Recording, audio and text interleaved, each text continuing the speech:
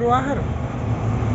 हाँ एकदम क्लियर तो ये है वो रास्ता जो पेट सेवापुर की तरफ़ जा रहा है और ये बच्चे आ रही है, बस है ये देखो बस आ गई। और ये ऐसा राउंडिंग में राउंडिंग में कैसे बच्चे मारती है। थोड़ा ही बोरे तो राउंड में ऐसे बसें घूमती है। ये देखो इधर का नज़ारा कैसा लगा।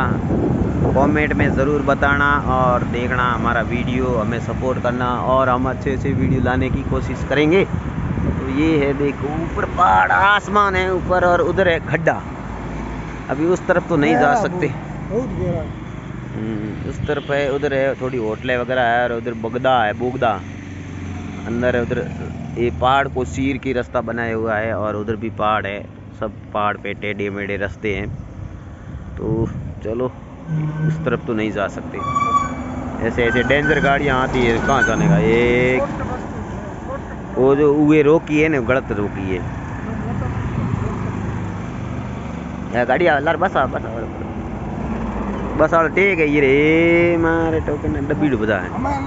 कार वाले रे मज़ो करते चलो दोस्तों, फिर मिलते हैं नेक्स्ट वीडियो में। तब तक हमारे चैनल को लाइक एंड सब्सक्राइब करते रहे और कमेंट करते रहे। ये आ रही है dan